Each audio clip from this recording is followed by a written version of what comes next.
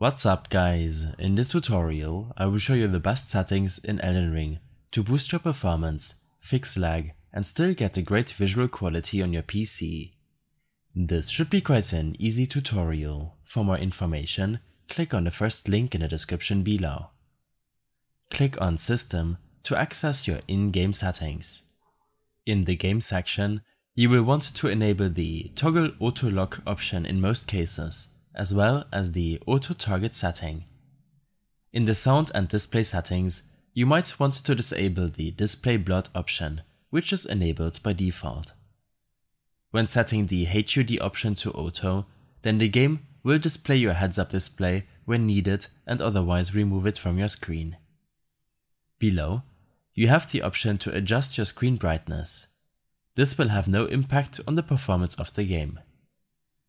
When using keyboard and mouse, make sure to change your device for on-screen prompts to keyboard and mouse. In the graphics section of your settings, make sure to change your screen mode to full screen to get the highest FPS. Below, you will want to use your native monitor resolution. The Auto Detect Best Rendering settings should be enabled, as this will enable the game to change some settings according to your in-game performance. If you feel like these settings are set too high, then you can manually reduce them a bit later on. Set the overall quality setting according to your system performance. Low-end PCs should set this to low.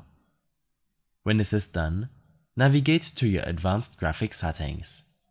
I will set these for low to mid-end PCs. If you're using a high-end PC, then feel free to change some of these settings along the way. Set the texture quality to low or medium. I will set this to medium as it will run fine on my PC.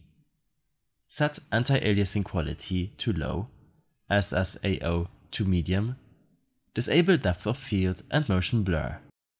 Motion blur will have no impact on your performance, but most users prefer to disable this graphics option. Reduce your shadow quality to low, lighting quality to medium, effects quality to medium, volumetric quality to low, reflection quality to low, as well as the water surface quality and shader quality.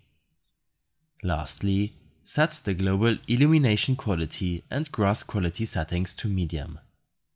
In case you have any further issues or problems following this tutorial, then I suggest following my extensive guide linked in the description below.